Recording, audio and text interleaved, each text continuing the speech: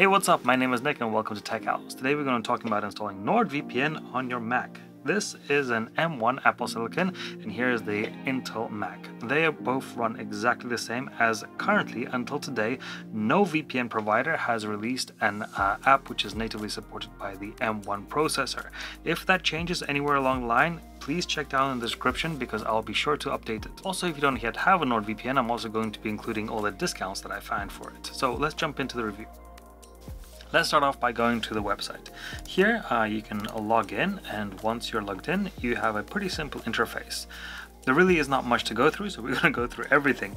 Uh, so first, what we see is services. We have uh, NordLocker, we have NordVPN, and NordPass. These are three different apps that NordVPN offers, and we'll get to those in just a bit. Let's uh, jump into NordVPN here, uh, more information about it, and then NordPass, NordLocker, and at the end there is downloads. And from here, you can just download NordVPN, and that will give you the options to um, select where you want to download. We of course have a Mac, so we're going to go to download for Mac OS and select the NordVPN IKEv2.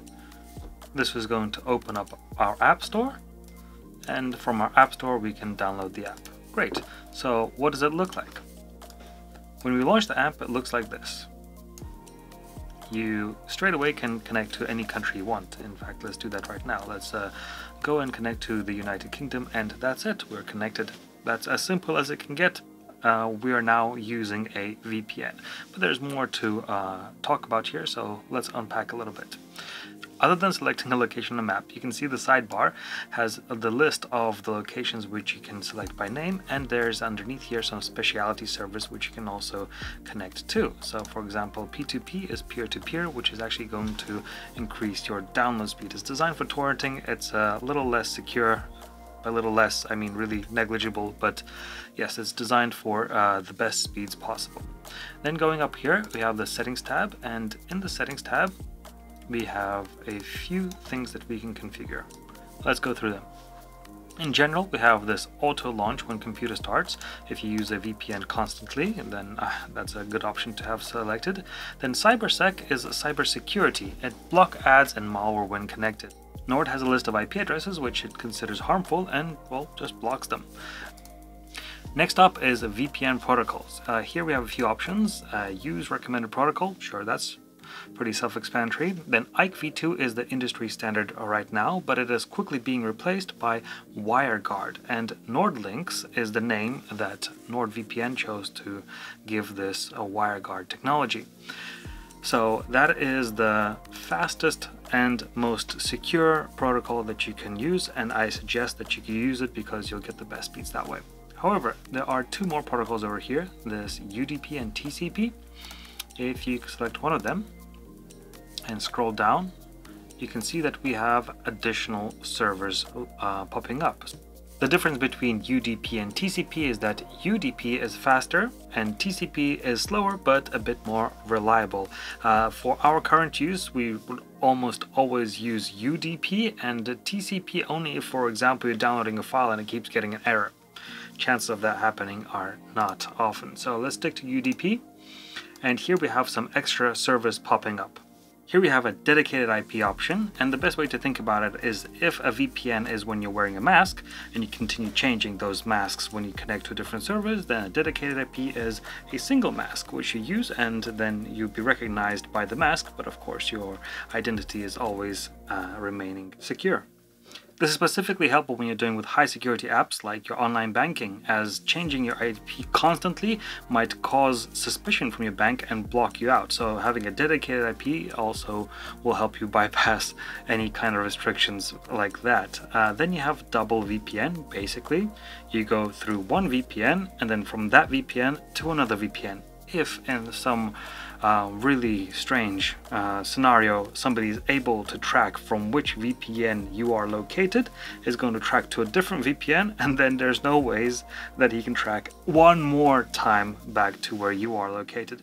Anyway, it's um, it's it's a feature which is there and is nice to have, but I mean, uh, double security is nice, but I can't think of a scenario in which way you would actually really need it maybe if you're surfing the deep, deep web, maybe then you might want to turn on double VPN just to be that extra sure. Obfuscated, wow, that's a mouthful and probably something that you will never need. It's for the times that you might want to travel to a country with heavy internet restrictions. Uh, you'd need to use obfuscated services to bypass their heavy internet restrictions. And speaking of uh, those kind of countries, you'll find that there is no China nor Russia available to connect to. Other countries like North Korea is also a no-go zone because they physically aren't allowed to build servers there. But on the plus side, if you do want to connect to a specific city, for example in the United States, there is these three little dots over here, and then you can select a region or a specific server and you can connect to that. And look at that, there's 1,800 servers in the United States alone. Next up we have help us improve and if you select that that's just going to collect some data anonymously and send it to VPN in order to help them improve their application. I suggest you turn this off, there's no need for that. Uh, let's go on to AutoConnect. Everything here is also pretty much self-explanatory. When using an untrusted network, you can choose to connect. So if you're traveling a lot and you open up your laptop in a Wi-Fi uh, hotspot, and then it's going to connect automatically. It says, I don't know which net network that is, let's connect. Uh, of course, if you're just at your home all the time, then there's no point of this. You can choose when to connect. I also have this list of current uh, or trusted networks. So currently I'm on my Ethernet network, and I can just select to trust it and now whenever I'm connected to my ethernet it's not going to auto connect you might not want that. You might have to auto connect always. But this allows me full control over the app. When I want to connect when I don't want to connect that's totally up to me. Also here you, you have connect to so that when it automatically connects you can choose which server to connect automatically. Moving on we have the appearance. Here is dock and this is pretty much this app over here. If you use menu bar then you see it goes onto this menu bar on top. Uh, if you're stuck in this in the bottom you have preferences and then you just go to open preferences and then you can change uh, in appearance again uh, for both. So that's going to show both the dock and uh, the menu bar icon over there on top. Right and then other apps. So let's get into these very quickly. NordPass is pretty much a one pass uh, alternative or uh, just a password manager in general. It's Nord's version. This is a paid add-on.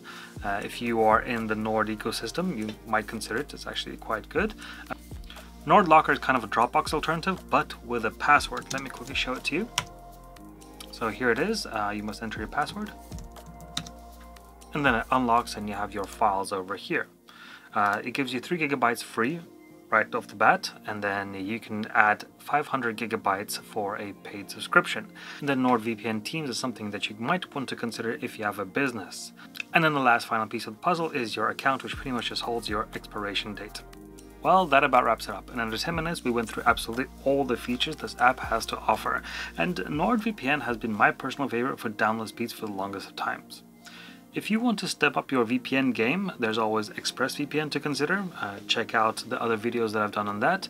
And if you think that you don't really need all these features and just want something for a little bit cheaper, well, uh, there is also Surfshark, which actually gives you unlimited amount of simultaneous connections.